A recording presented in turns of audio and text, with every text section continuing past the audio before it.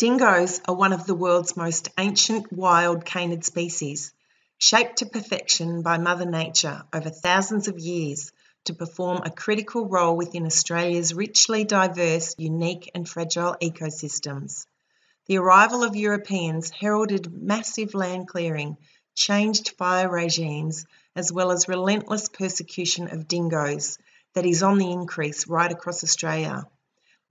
Lethal control of dingoes through 1080 baiting, trapping, and shooting bounties is a misguided attempt to exterminate them to make way for pastoral interests.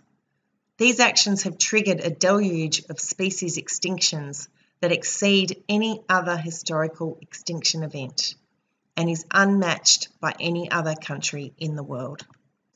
Dingoes are nature's 24 7 ecosystem regulators and protectors of biodiversity. Australia's native wildlife has survived and thrived for thousands of years under the protection of dingoes.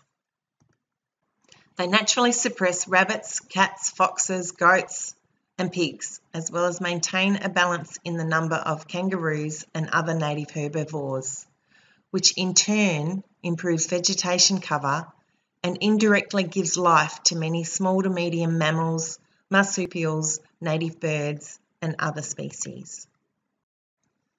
Decades of spreading lethal and grossly inhumane 1080 poison and deadly viruses has done nothing to reduce so called pest species, but resulted in the cruel deaths of dingoes and other non target wildlife, working dogs, and pets, with no account for how these actions impact on healthy ecological functioning.